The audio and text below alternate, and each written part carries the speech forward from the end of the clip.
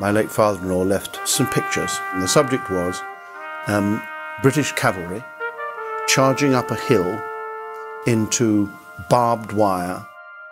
It was important to me, and right from the outset, to write a story which was a look at the universal suffering of that war and any war. I was reading some Michael Morpurgo stories, and my mum said to me, Have you read the one about a horse in the First World War?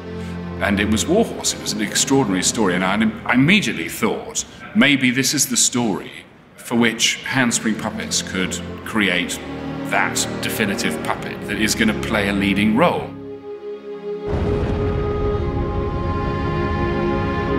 The thing that intrigued me most, a horse going into war and seeing a war through the eyes of an animal. So the neutrality of the animal, the, the way it didn't make judgments about any situation was what appealed to me.